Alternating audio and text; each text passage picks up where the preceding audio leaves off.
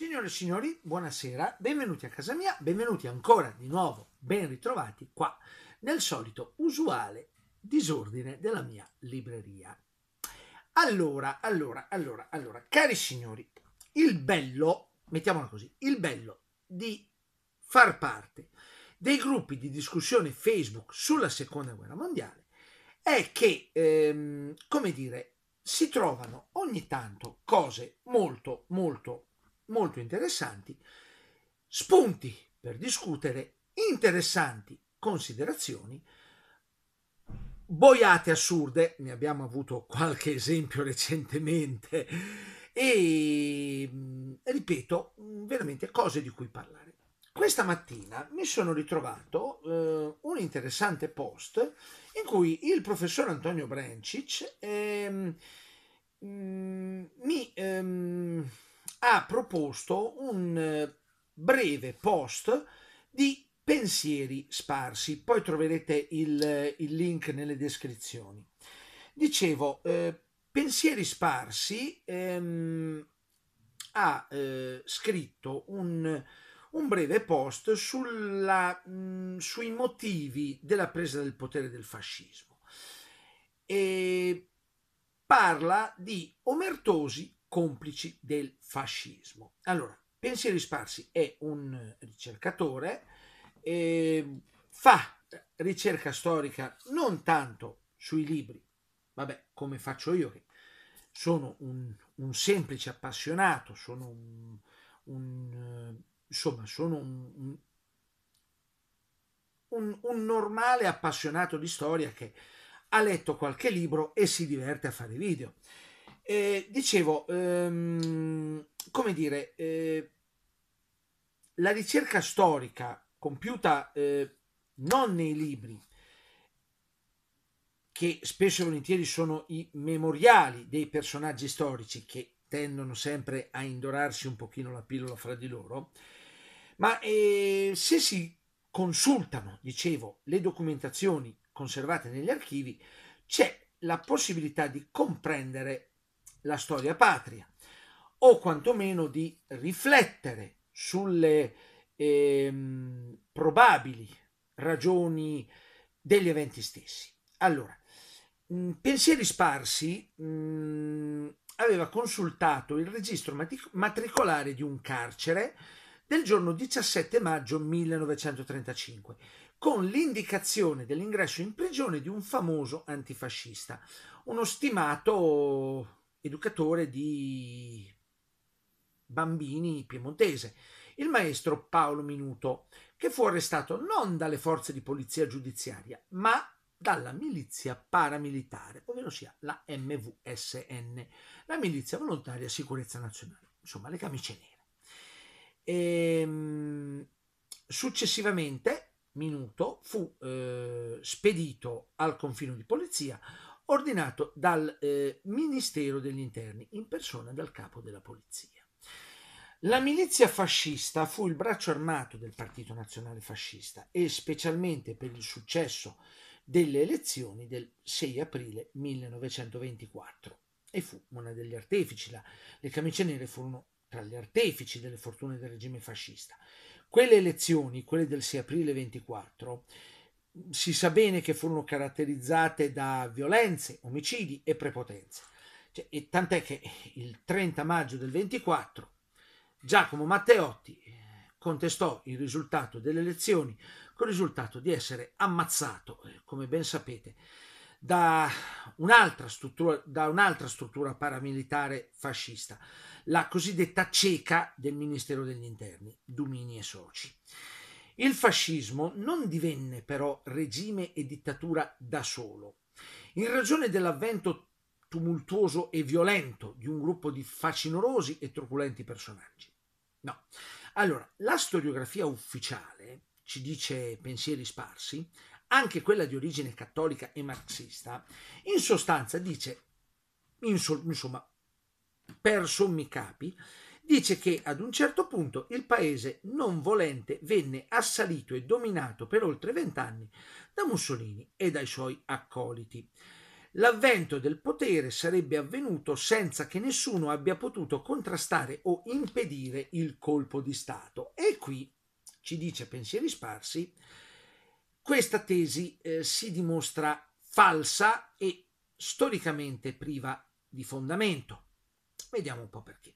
Due dei complici, forse quasi i maggiori, sono stati due miti per il eh, paese e per il nostro esercito, ovvero sia parliamo del generale Armando Diaz, cioè il vincitore della Prima Guerra Mondiale, e il duca del mare, ammiraglio Paolo Emilio Taon di Revel. Allora, i due personaggi convinsero il re a non, a non impedire la marcia su Roma, e, ehm, e in cambio divennero nel primo di Castero Mussolini Diaz ministro della guerra e Taon di Revel ministro della Regia Marina. Come ministri del governo Mussolini, in uno dei primi consigli dei ministri, diedero il proprio decisivo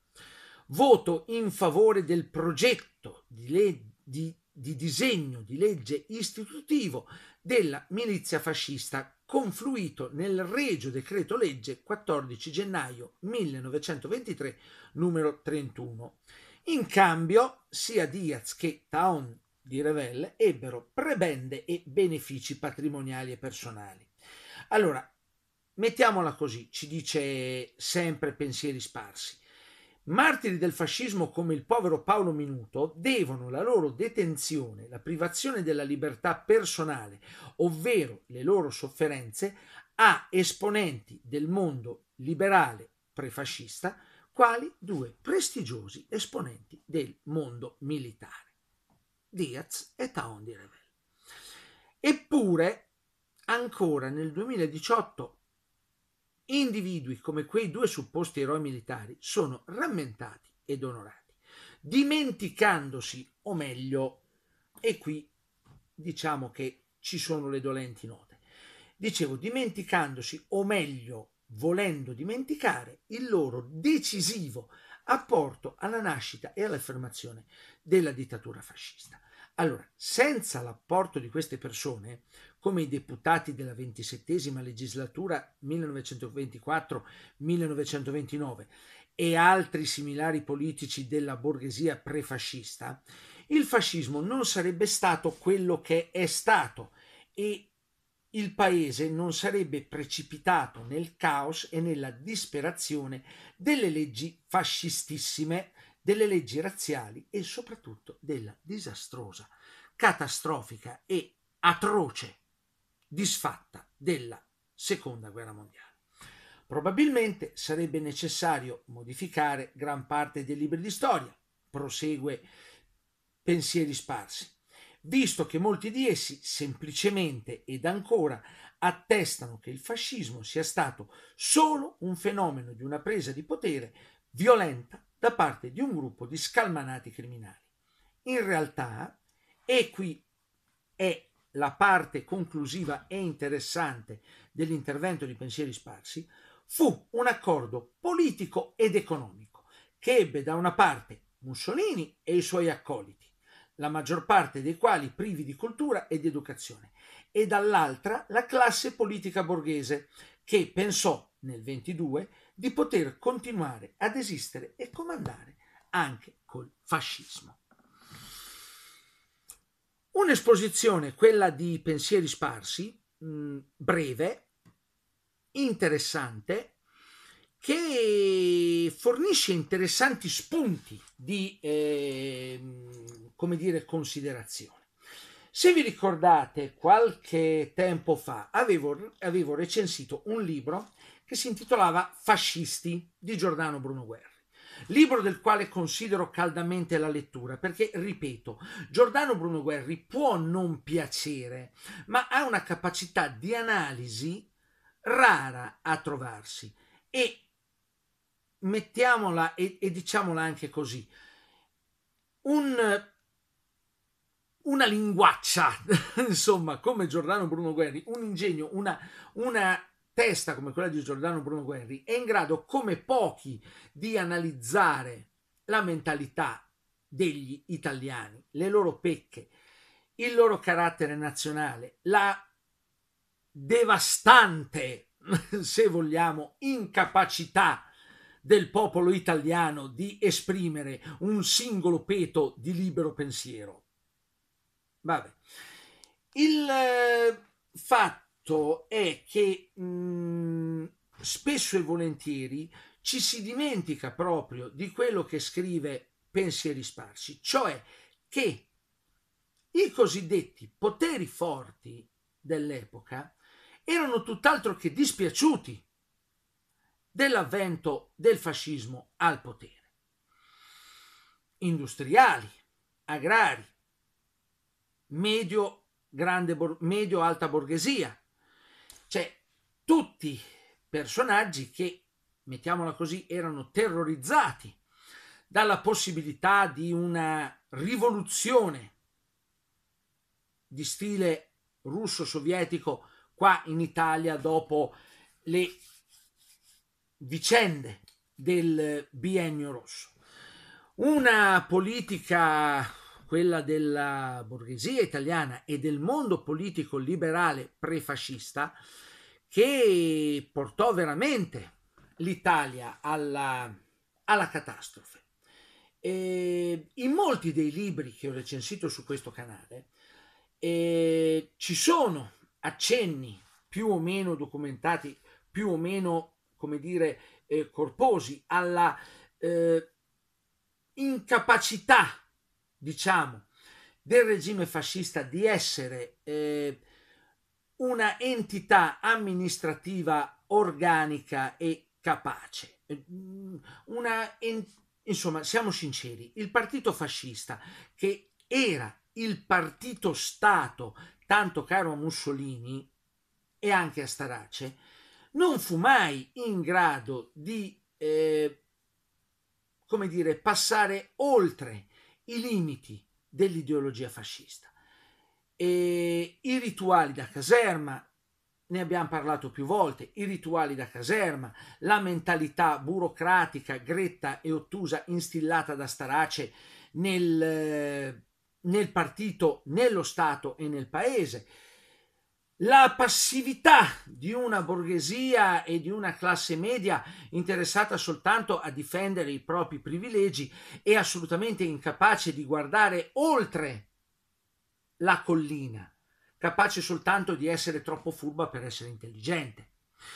E pensieri sparsi in questo suo post, in, questo, in questa sua breve esposizione, punta il dito contro due esponenti, due prestigiosi esponenti militari italiani, ovvero sia Armando Diaz e Taon di Revel, cioè due dei vincitori della Prima Guerra Mondiale. E il fatto che, eh, come dire, eh, i due personaggi siano stati ministri nel primo governo Mussolini ci fa capire che eh, la presa del potere, la cosiddetta rivoluzione fascista, fosse stata tutt'altro che una rivoluzione, ma era stata semplicemente, come dire, la ehm, presa del potere da parte di Mussolini grazie all'appoggio, alla complicità, alla spinta di forti esponenti eh, della borghesia del, e, della, e, e, delle alte sfere militari, indubbiamente. Cioè, eh, se ne sono dette tante se ne, e se ne diranno tante ancora per anni. Però, ripeto, mh, è una cosa che secondo me non è mai stata abbastanza, come dire, studiata, perché si preferisce ehm, come dire, si preferisce affrontare discorsi più eh, semplici, meno complessi, meno, ehm, con, insomma, meno eh, dietrologisti, se mi perdonate la brutta parola, cioè insomma, senza fare, dove si può fare meno dietrologia, perché sulle cause, sugli appoggi politici, sugli appoggi economici che il fascismo ha avuto per salire al potere, c'è un'ampia mh, bibliografia in proposito. Ci sono studi, ci sono per esempio, ho parlato più volte del,